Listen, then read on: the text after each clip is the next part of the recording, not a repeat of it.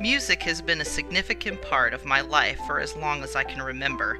I still remember songs my mother sang to me as a child. I remember twirling and dancing to penny whistle albums with my brother. Such fond memories. I started piano lessons as a kindergartner.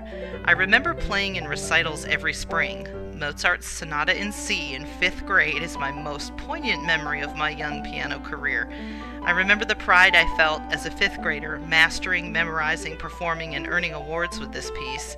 I continued my piano studies through my middle and high school years and chose to pursue piano as my minor instrument in college. This sonata is the piece that made me feel like a real musician for the very first time. While piano was my first love that helped to shape my identity and define myself as musical, the flute is nearest and dearest to my musical heart. When I was very young, my mother and father hosted a young woman in our home while she was studying to be a doctor.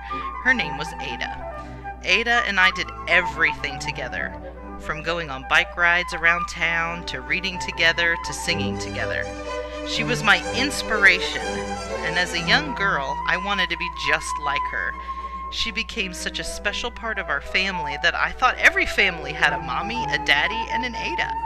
Ada played the flute and the piano. I vowed I would be just like Ada and began studying the flute in the fourth grade. I remember Mozart's concerto in G major was one she practiced often, and I put it on my to do list for when I was good enough. As I grew in age and ability, I remember fondly the times we would get together and play flute duets on occasions when she was on furlough from her missionary work as a doctor in the country of Pakistan. Mozart's flutes concertos launched me into district, regional, and state band and orchestra competitions for the state of Pennsylvania. I also was a member of the Lancaster County Youth Symphony, auditioning on their Mozart concerto. The experiences with my musical talented peers influenced me greatly and ultimately helped to guide me into choosing music education as a career path.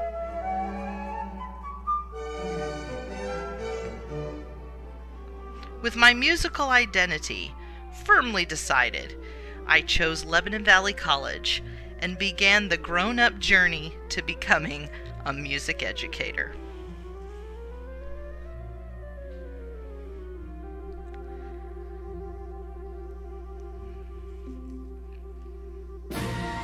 Of all the experiences and memories I made in my four years as an undergrad at LVC, Orchestra with Dr. Dietrich not only claim my fondest memories, but also my greatest personal and musical learning moments.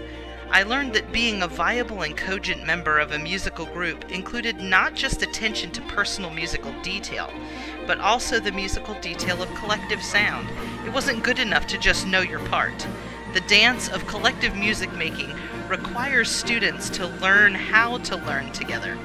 This piece, Capriccio Espagnol, was a moment in time during a performance where I experienced the magnificent result of learning to learn together. I had so much pride in myself, my students, and my professor. It is still my favorite piece of classical music to this day, and I cannot listen to it without being filled with that wonderful memory.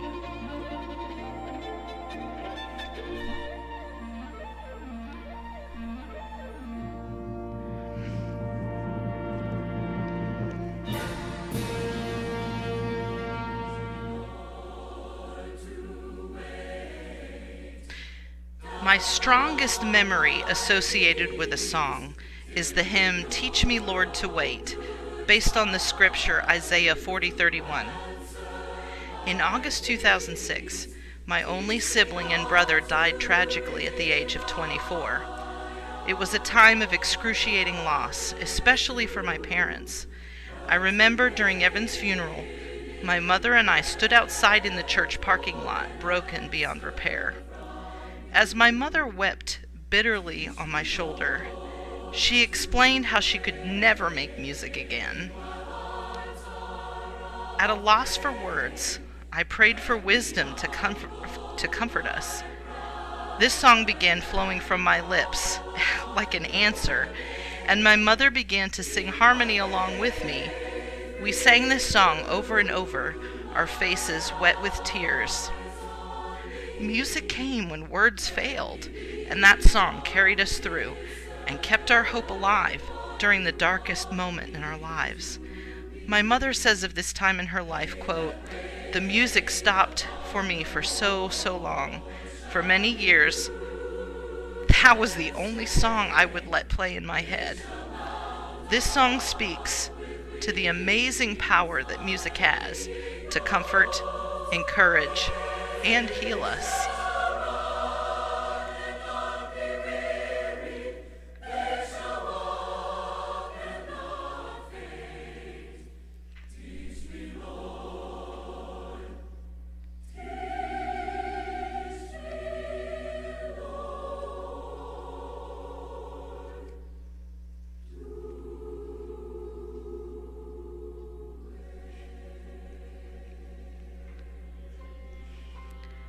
I met my husband in January of 2007, just months after my brother passed away.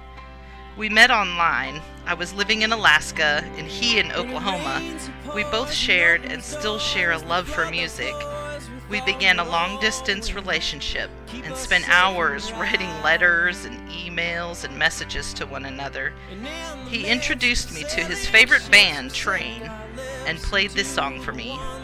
It quickly became our song, and really spoke to how we felt about each other and the difficulty it is to be away from the one you love.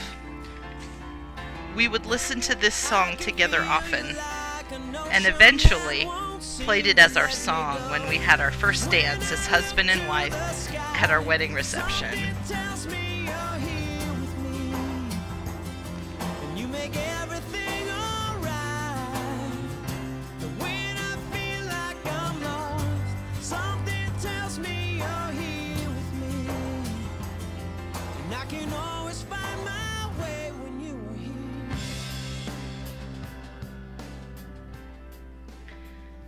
Life has a funny way of bringing you to the highest mountain and then thrusting you over the precipice into the deepest, darkest valleys.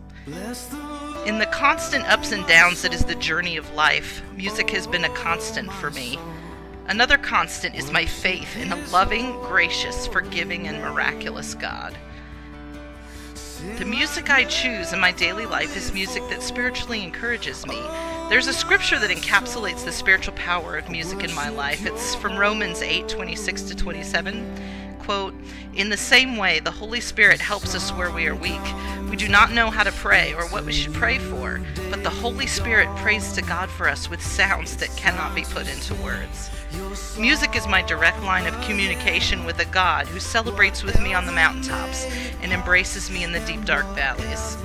My musical identity is strongest when I sing songs like 10,000 Reasons by Matt Redman.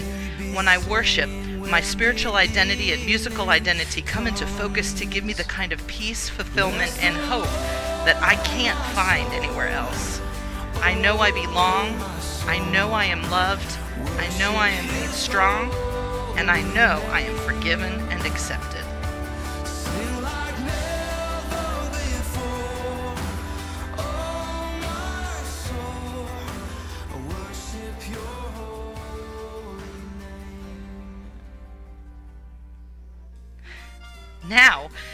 Have the privilege to teach the love of music to my children. It has been an absolute joy teaching my two year old daughter my favorite kid songs from my own childhood. Maddie is a huge Sesame Street fan, and with that love comes all the music that Sesame Street so expertly creates and produces. My daughter is learning that music is expressive, silly, and fun, and our whole family, my eight month old son included, sing Sesame Street songs all the time. Even now, Maddie is creating her musical identity and she loves singing with us and feels the sense of belonging that music so effectually creates. I am looking forward to seeing the role that music will play as she grows and experiences the musical journey for herself someday.